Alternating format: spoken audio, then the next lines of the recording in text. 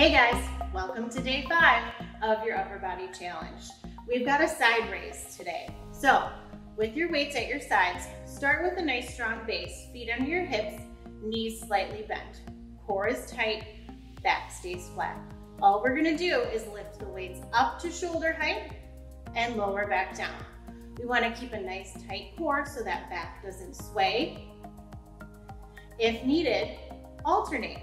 You can do one arm at a time, or you can lessen your range of motion by only going up halfway.